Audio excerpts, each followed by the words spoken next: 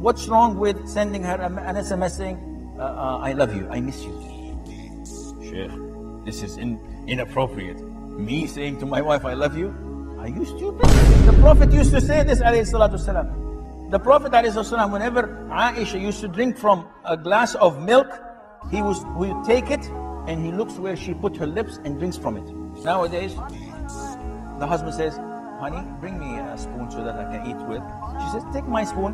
He said, you crazy? Wash it seven times with water once with soil and bring it over. What, what kind of a, a, a husband is this? Ya she is your wife. The Prophet ﷺ used to see the meat where she took a bite from and he would put his mouth on it. This is the love we want. So send her an SMS. When you're coming from work, ya akhi, buy a rose. Seven riyals rose.